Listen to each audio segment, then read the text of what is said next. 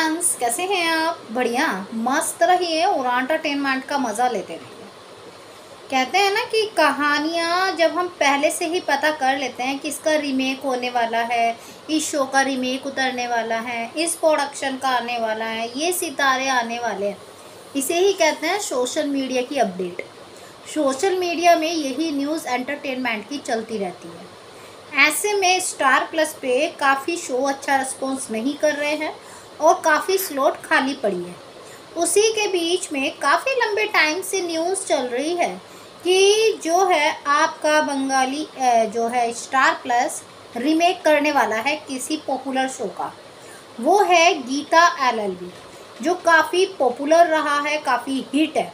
तो ऐसे में जो है जब ये न्यूज़ फैंस को मिली तो फैंस ने कहा स्टार प्लस का कौन सा शो रीमेक नहीं है?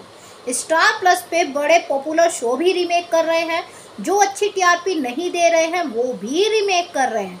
तो ऐसे में कोई नई बात नहीं है कि स्टार प्लस पहली बार किसी पॉपुलर शो का रीमेक कर रहा है।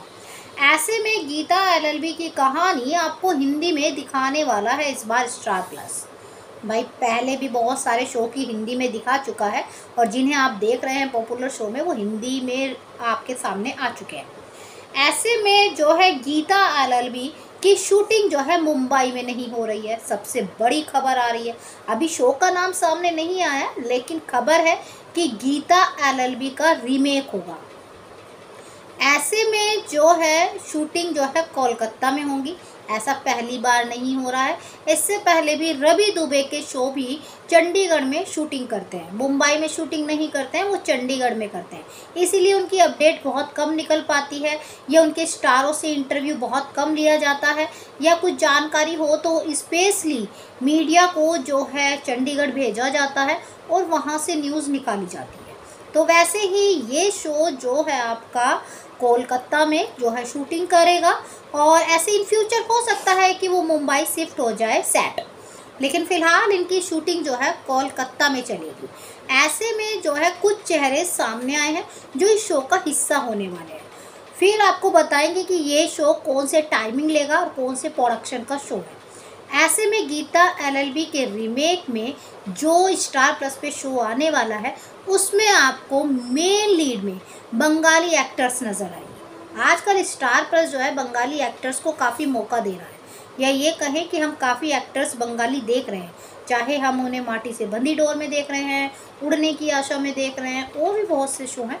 तो ऐसे में आजकल हिंदी टीवी के चेहरों को थोड़ा कम करके बंगाली या कन्नड़ के चेहरों को ज़्यादा मौका दिया जा रहा है। तो ऐसे में बंगाली एक्टर्स जो है, श्रीता मन जो है आपकी उतरने वाली हैं, श्रीता माँ, मित्रा, जो हैं एक्टर्स जो हैं, आपको नज़र आएँगी।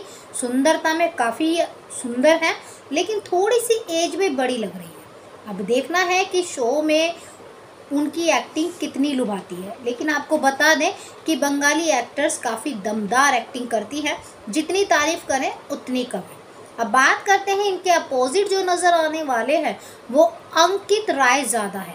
इससे पहले जो है रब से दुआ जैसे सीज़न वन में आप उन्हें देख चुके हैं। ऐसे में काफ़ी शो में नज़र आ चुके हैं, लेकिन इस बार एक मेन लीड में नज़र आएँगे। वो भी गीता एलएलबी के रीमेक में। ऐसे में बात करते हैं, ये कौन से प्रोडक्शन का है? तो डियर ये जो है आपके प्यारे से ब्लू प्रोडक्शन का शो है। ब्लू प्रोडक्शन इससे पहले मूवी वेब सीरीज़ में काफ़ी अच्छी पकड़ पकड़े हुए हैं। अब टीवी शो में देखते हैं, उनकी पकड़ कितनी अच्छी होती है। ऐसे में स्टोरी दमदार है। अब बात आती है कि स्टार प्लस इसे किस टाइम पे लॉन्च करने वाला है। खबरें माने तो एट थर्टी पे इस, ये गीता एलएलबी का रीमेक उतरने वाला है। ऐसे में खबर जो है, जो सोशल मीडिया की अंदर से खबर निकल कर आ रही है, शायद माटी से बंदी डोर को रिप्लेस कर सकता है। अब बात करते हैं इसके प्रोमो की तो शायद जुलाई के लास्ट या फिर अगस्त के फ़र्स्ट वीक में आपको इसका प्रोमो मिल जाएगा।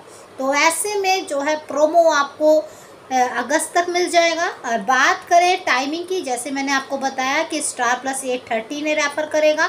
लेकिन इनकी डिमांडेड जो है सेवन थर्टी पर है। अब देखते हैं ब्लू प्रोडक्शन कितना धमाल मचाते हैं हिंदी टेलीविज़न में।